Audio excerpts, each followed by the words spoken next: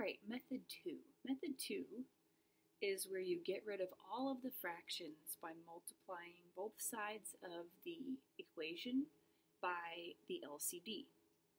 So we're just getting rid of fractions, which most people love to do. So um, this is my preferred method, but it doesn't mean you have to do it this way. You could do all of them this way though, okay? So um, here we go. So if we look up here, and I actually want to do the one down here, it's a little bit easier. Let's do that one first. So the one down here just looks a little easier because it doesn't have, the LCD is just easier to see. So what do all three of these have in common? That's what you got to do. Before I was just simplifying one side, but this time I'm going to look at all three of these denominators and I'm going to decide, okay, what's the LCD of all three of these? So that's why we practice that. So um, so the LCD here, you can see that 2, 3, and 6, they can all go into 6. And you can see that they have an X as well. So our LCD has to be 6X. Okay? So that is what I'm going to multiply both sides by. And that means every term, all three of these get multiplied by that. So if I multiply each of these terms by 6x, so that's going to be 6x times 7 over 6x, okay, minus 6x times 1 over 3, and equal to 6x times 1 over 2x. So I'm multiplying every single one of these by 6x, the tops. And what's going to happen is things are going to cancel for each one of these, and that's going to get rid of our fractions. So this 6x here completely cancels with this one. So all I'm left with is a 7. So I just get a 7 for that, which is kind of nice. On this one, um, 3 and 6, you know, they can be divided. So 6 um, and 3, they're both divisible by 3. So if we divide this by 3, we get a 1. If we divide this by 3, we get a 2. So now this is 2x times 1, which is 2x. That's all. And the denominator is 1, so we don't have to, you know, write that.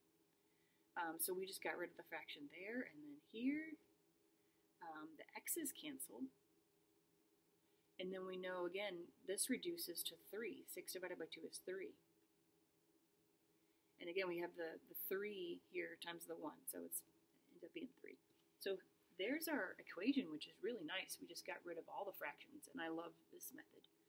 Um, so now you just solve this equation. So I'm going to get 7 over on this side because I want to get x by itself. So I first, first have to get rid of the 7. So I'm subtract 7 from both sides. Alright, the 7's cancel. And then I still have this negative and the 2x. And then 3 minus 7 is negative 4. And then the final step is just to divide by negative 2. Divide by negative 2. Okay? And then you are left with, these cancel, right? And then we have x equals, and 4, negative 4 divided by negative 2 is a positive 2.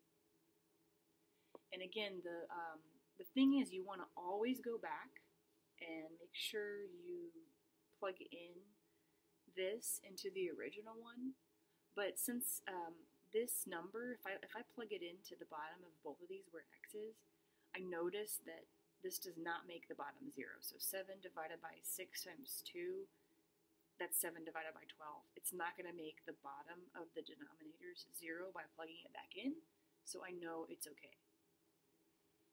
So now let's go back up to this one right? So now we're going to um, multiply by the LCD, just like we did down there. Now this LCD, if you look at this, this is um, 9 over x plus 2 over 1, technically, equals uh, 2x over x plus 3. So now I know these are both completely different factors, so I need the LCD then to include both of them. So my LCD is going to be this. And don't worry about multiplying that out, just leave it like this. So you're going to multiply every term by that. Okay? And again, what's going to happen is they're going to cancel. Some of them are going to cancel, and some of them won't. Like this one, we'll see that it doesn't. But so we're going to do on the tops, we're going to multiply the tops by x times x plus 3. So we're going to say 9 times um, x x plus 3. So we're multiplying the top of this fraction by our LCD. Then we put it over the bottom of the fraction. Multiply again the top of the fraction by the LCD. So 2, we have x, and x plus 3. Okay. And this is over 1, but it won't really matter. But um, just wanted to show you. And then again, 2x, and then times x, and x plus all over x plus 3. So again, what's nice is um, we're going to get rid of some of these. So on this one, the x's end up canceling. All right, so we have 9 times x plus 3. Left? On here, nothing cancels. So we have um, 2x times x plus 3. Okay, and then on the final equation, um, you can see the x plus 3's will cancel. So that's all that will cancel there. So now we have 2x times x, which is 2x squared.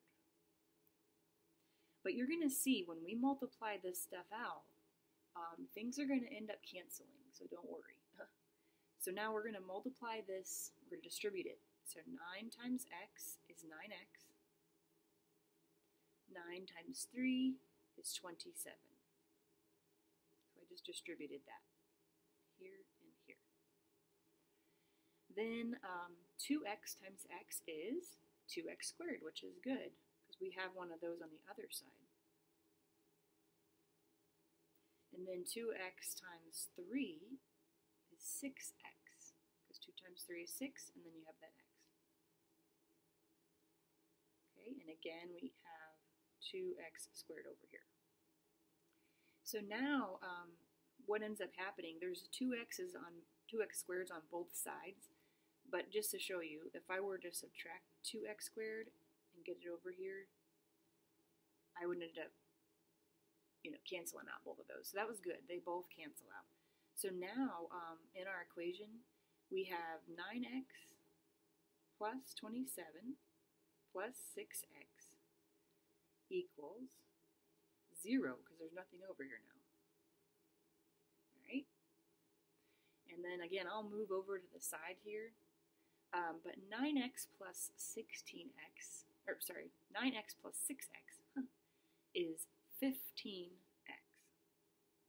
15x plus 27 equals 0. Okay, so I just combined these two together. But I'll move over here, like I said, because I need more room. So 15x plus 27 equals 0. And now I have to solve that um, equation.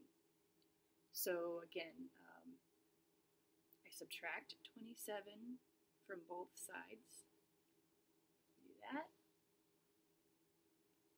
Alright, those cancel out. I get 15x equals 0 minus 27 is negative 27. And then the final step is to divide by 15.